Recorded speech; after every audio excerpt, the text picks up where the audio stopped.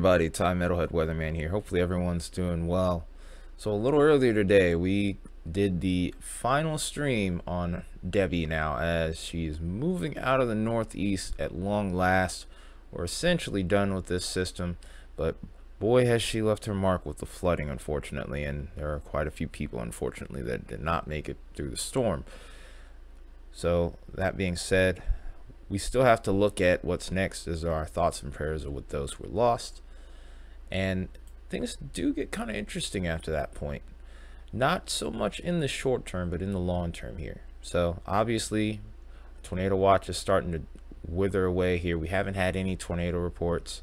And of course, severe reports. It's looking like a relatively slow day. There could be a couple areas over here, as you see with the marginal risk, where we could get some damaging winds and hail.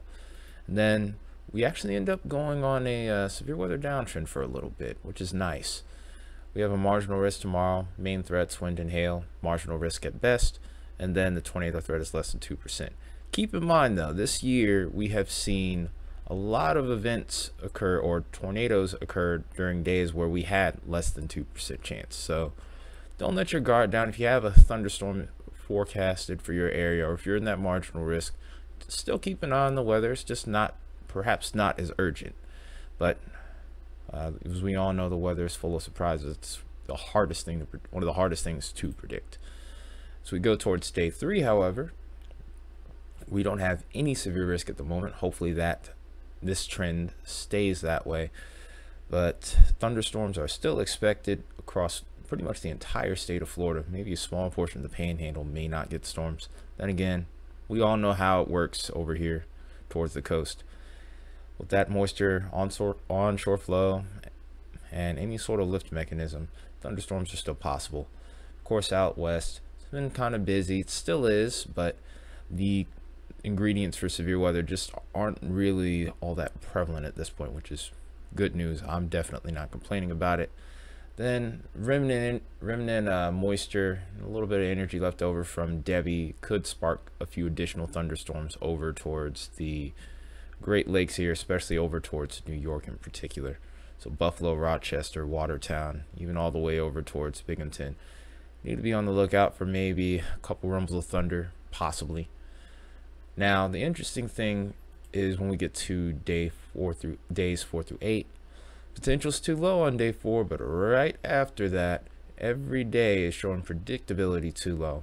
And while that doesn't necessarily mean that there's going to be some big severe weather event, the potential starts to return after that point. So anytime after August 13th, the threat for severe weather goes up ever so slightly. As far as looking at models are concerned though, I haven't seen anything that's caught my eye in particular just jumps out to me as a red flag.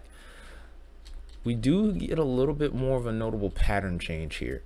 We do start to see some changes in regards to some of the upper levels in particular start to see a little bit more ridging out towards the central and eastern parts of the U.S., especially towards the south here. So we're still going to be dealing with those warm temperatures, especially over towards the Gulf states. So shower and storm activity may start to decrease ever so slightly as we go forward. Eventually, though, we do end up getting a new trough that starts to kick in over here and eventually we could watch both Ohio Valley, maybe even Tennessee Valley, and also the Western High Plains start to get in the action here with shower and storm activity. Another thing to watch for is this feature right here. This is likely to become Ernesto. Just what strength that will be at is still uh, the, it's still up for question, but I'm pretty sure that this at least makes it to tropical storm or hurricane. And what I want you to pay attention to are a couple of things here. This is the developing trough that we're looking at right here where I have the cursor. And of course, this would be, this is more than likely going to be Ernesto. Watch what happens as we continue to go forward here.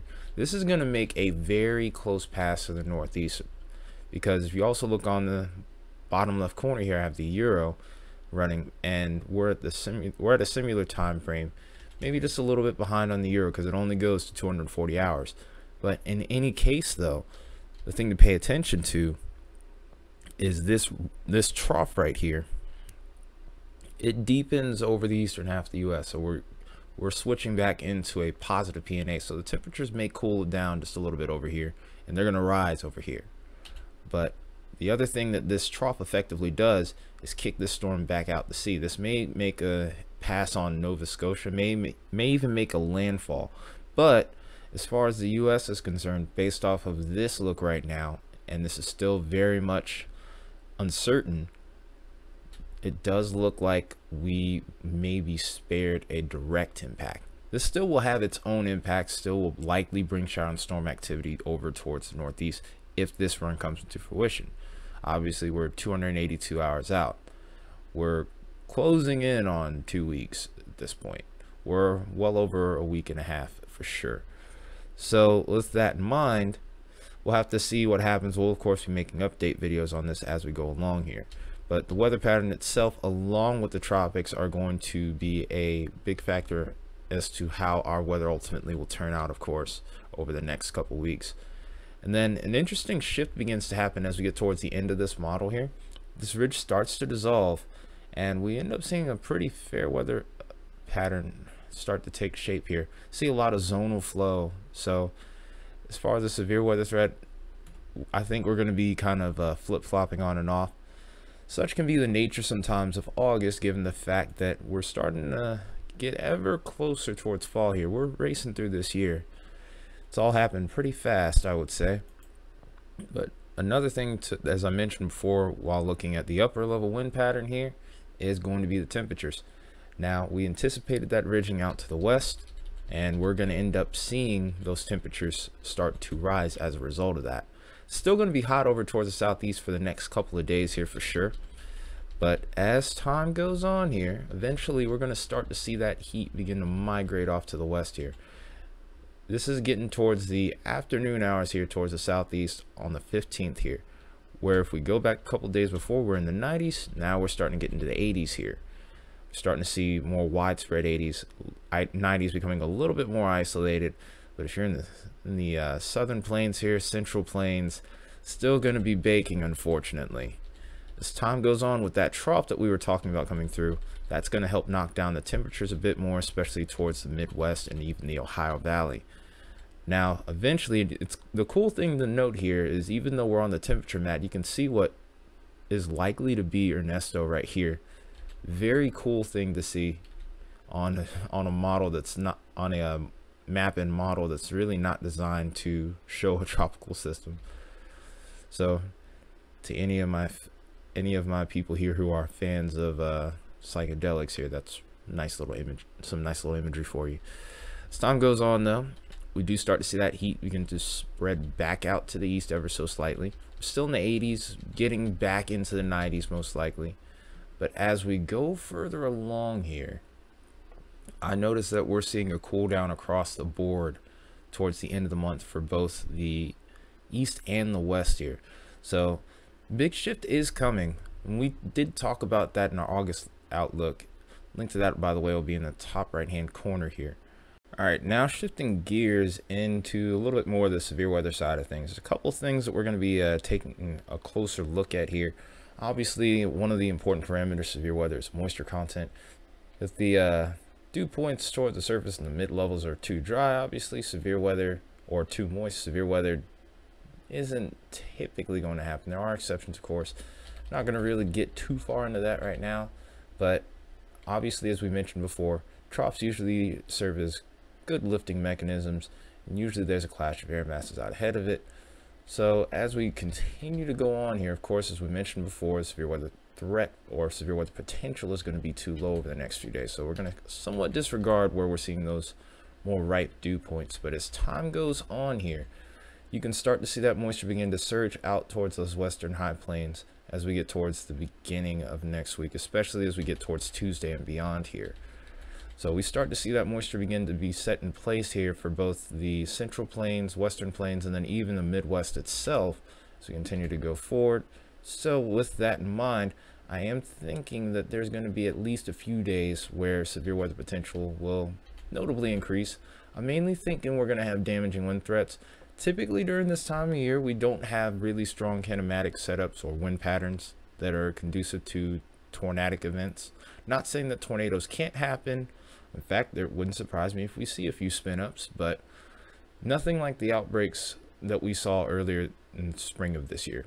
So, not much in the way of concerns to be had there. Still be watchful is really all I'm trying to say at this point.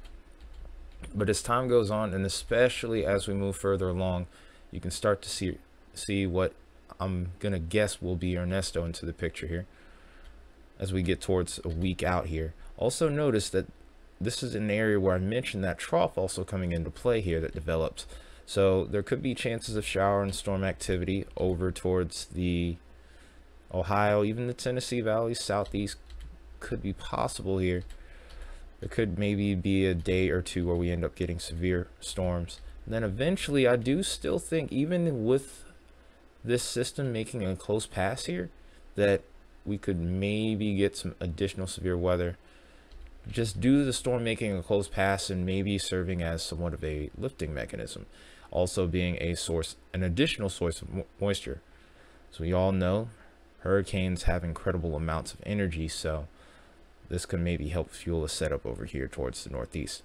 Of course it's more or less hearsay at this point because we're passing 10 days out at this point so it's just more or less a hunch or just kind of a leap out there, so to speak, in regards to that. Cool thing is, though, after we have that system move through, we do start to see those dew points drop out to the east. It seems like it's been a constant all year to have those 60 and 70 degree dew points with very few breaks in between, if any, for some of us. So unless you're over towards the uh, coast here, we actually start to see those dew points drop off a little bit. We're in the 50s, some places even getting into the 40s here over towards the east, anywhere east of the Mississippi River. Out west, it's pretty daggone dry. In fact, wildfires have been a big problem over here, and looks like, unfortunately, they still are going to be, especially up towards the northwest. Northwest is getting really hit, uh, getting uh, hit really hard with those wildfires. Uh, there are numerous amounts of those spreading, unfortunately.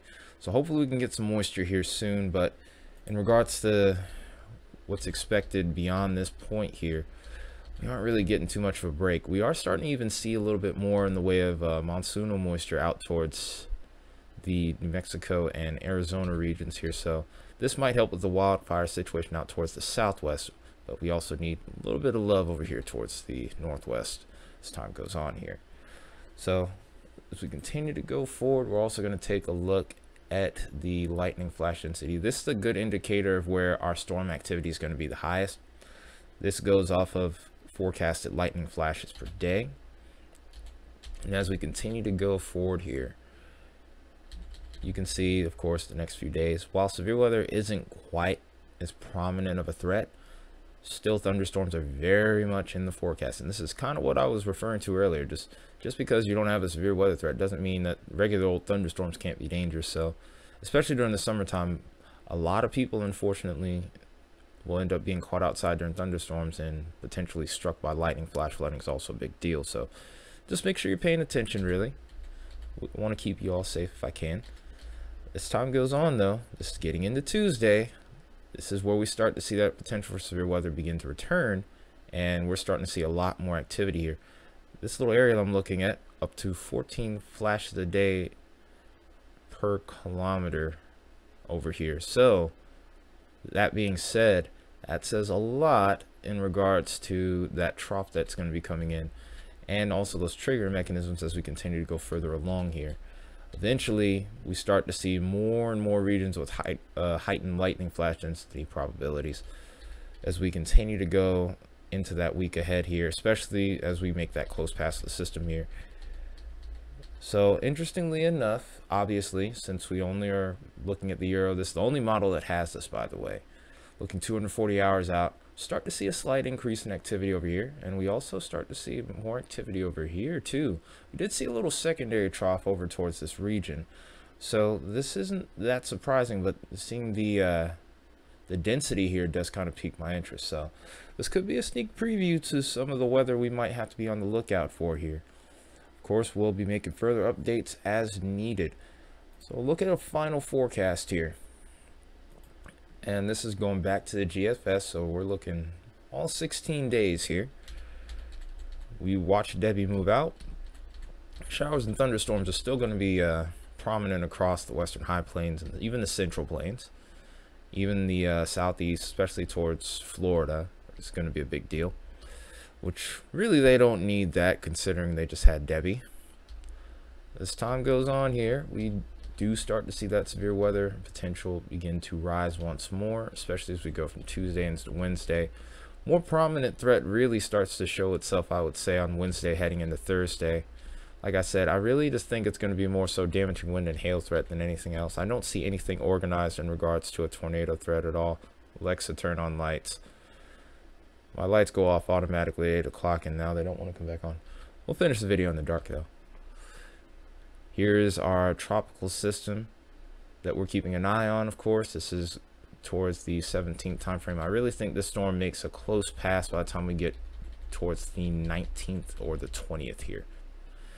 And then, of course, we're having to keep an eye on the Ohio Valley for severe weather potential as we go further along. Timing, I think, is going to be a really big topic when it comes to this system here because it could determine whether or not this makes landfall or makes a very close pass to the northeast or if this ends up being pushed out to sea. It all depends on what that trough and that um, low pressure end up doing. Of course, after that point, here's our fair weather pattern. We get a couple of days of that, and then before we know it, we're starting to get more activity once more to close as we get towards the back half and end of this month here. But with that, that concludes the video. Thank you all for tuning in. Also, again, thank you guys for helping me get this channel to a thousand subs. Like I said, onward and upward from here. And until then, you guys take care. Have an awesome rest of your night. Nothing but love for you guys. Entire Metalhead Weatherman. Take care.